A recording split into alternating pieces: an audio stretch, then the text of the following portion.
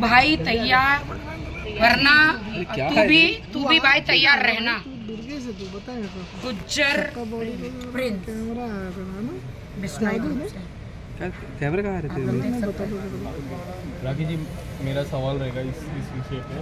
अ, कितना आप सीरियस ले रहे हो? पुलिस को आपने कहा कि अरे पुलिस को और भी तो काम है। बट भाई मेरे को भी अभी तुम लोग कैमरे से दूर रखो। थोड़ा दूर मैंने सुना कि अभी किसी को कैमरे में कोई दो आतंकवादी थे। पता नहीं कौन थे। कौन थे वो लोग? वो इंटरव्यू में बातें करते मारते गोली मार दी। ए, गोली मार रहे क्या? धक्का मारे धक्का मारा तो कैमरा कैसा आ रहा है। अरे नहीं। नहीं बता। ए दूर हटो। चलो दूर हटो। गोली वोली मार रहे हो क्या तुम लोग? क्या मार रहे हो? बता मार रहे हो। नहीं पता नहीं। है मालूम नहीं ना। यहाँ पे मीडिया से आज तुम लोग भी सेफ़ नहीं हो भाई। कुछ भी हो सकता है। एक सीरियस विषय है। ये बहुत ही ज़्यादा सीरियस विषय विषय है।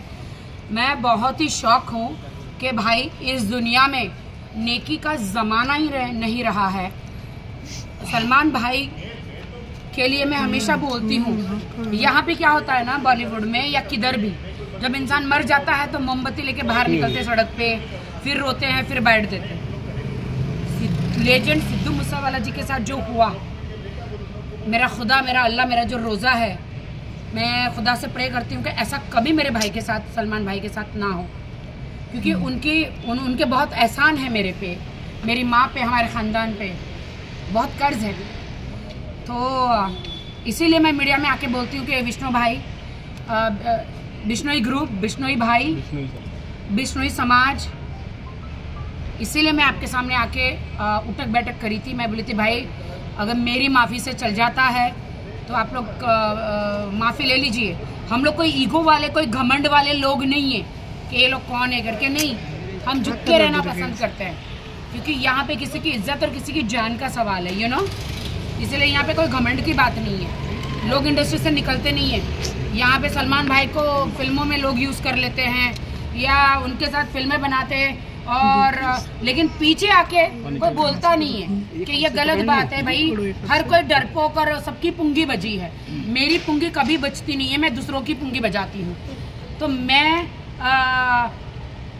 यू नो सलमान भाई मेरा लुंगी पहनता है और मैं दूसरों की पुंगी बजाती हूँ। तो मैं ये कहना चाहती हूँ कि बिश्नोई समाज के लोग मेरे भाई हो आप और मेरी मैं आपकी बहन हूँ गुस्सा ना करे गुस्सा शांत करे। और ये मारने वारने की धमकी ना दे। जिस खुदा ने आपको भी जन्म दिया है सलमान भाई को भी दिया है मुझे भी दिया है। तो जान लेने वाला तो खुदा है। आप धमकी ना दे। मैं जी? पुलिस की हेल्प लोगे इस- इस तरह अरे पुलिस की क्या हेल्प है। अरे पुलिस स्टेशन जाते हैं तो छह घंटे बिठा देते हैं।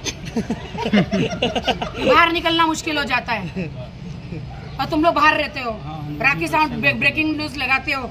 राखी सावंत पुलिस स्टेशन में बैठी है। तुम लोग जब तक मैं कंप्लेंट लगा के बाहर आ जाती हूँ तब तक तो तुम पता नहीं जेल भी पहुँचा देते हो फांसी भी लगवा देते हो। हाँ पुलिस स्टेशन में जाके भी फ़ायदा इसलिए नहीं कि वो हाथ पकड़ के आठ घंटे बिठा देते हैं। धीरे धीरे धीरे पूछते हैं।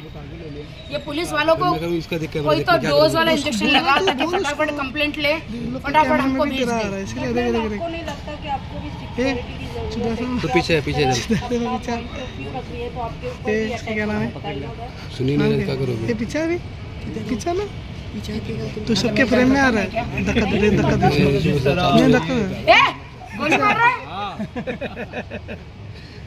नाम है होगा ही? सुनी पीछे पीछे ना सबके फ्रेम रहा है। धक्का दे दे, धक्का दे नहीं धक्का दे ए गोली मार रहा है गोली मार रहा है। ऐसा थोड़ी ना मीडिया से बात करते करते गोली मारोगे तुम। सुनना गोली मार रहा है। हाँ? लाइट पक्का? बंदूक का